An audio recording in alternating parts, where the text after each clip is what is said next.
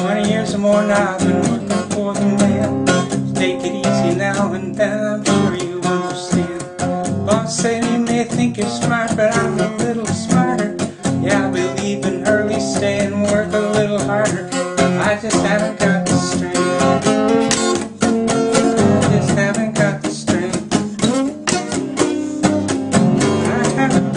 strength to carry on.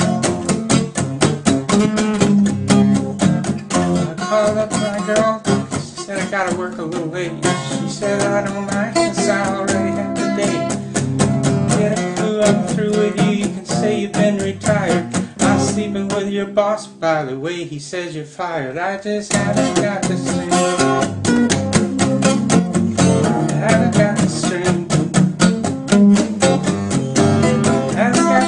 Strength to carry on. I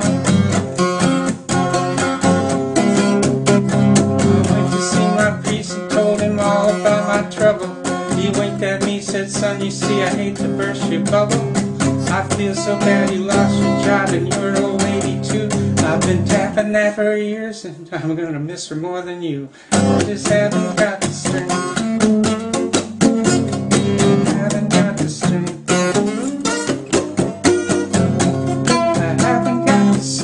To carry on.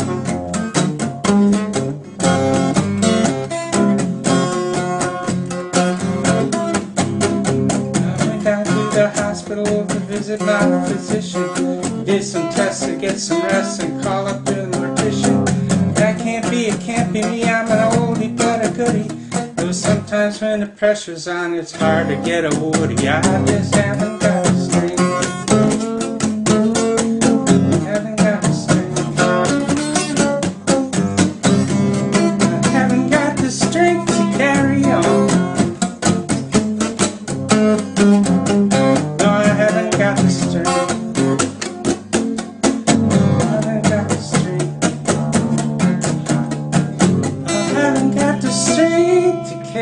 have